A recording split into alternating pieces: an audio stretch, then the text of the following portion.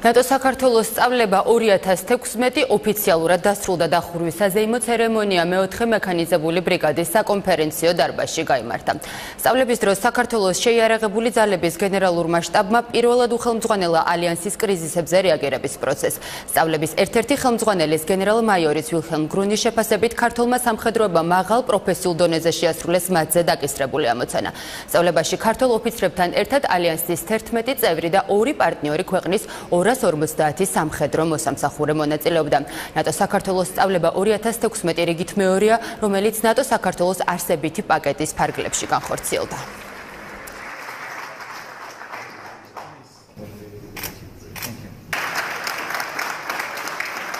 სწავლება არის პირველი არანატო წევრ ქვეყნის მასშტაბში.